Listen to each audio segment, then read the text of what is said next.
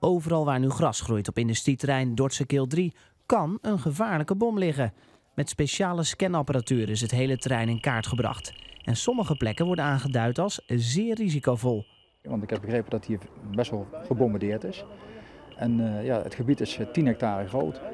Dus uh, overal waar hier gebouwd gaat worden, daar gaan wij overheen om te kijken of er dus munitie ligt of restanten van munitie. De oranje vlaggetjes geven aan waar mogelijk een bom zou kunnen liggen. Heel voorzichtig wordt er in de grond gegraven en gemeten. Hij eh, piept nu best wel. Heeft hij iets gevonden? Er zit in ieder geval een voorwerp van metaal. Dat is een ding wat zeker is. Dus, uh, maar ja, we kunnen de grond nog steeds niet inkijken. Dus uh, we moeten even afwachten wat het wordt. Maar het is zo te horen niet veel bijzonders. Geen bom? Geen bom.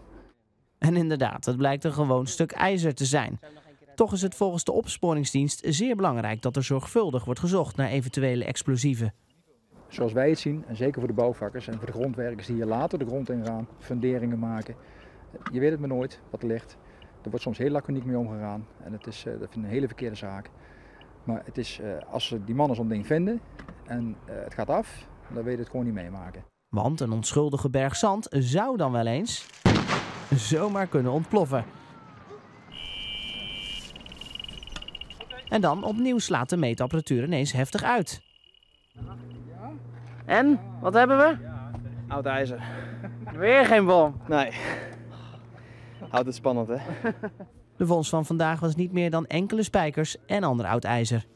De komende weken zal de explosieve opsporingsdienst nog nodig hebben om het gehele bedrijventerrein te onderzoeken. En mochten ze wat vinden,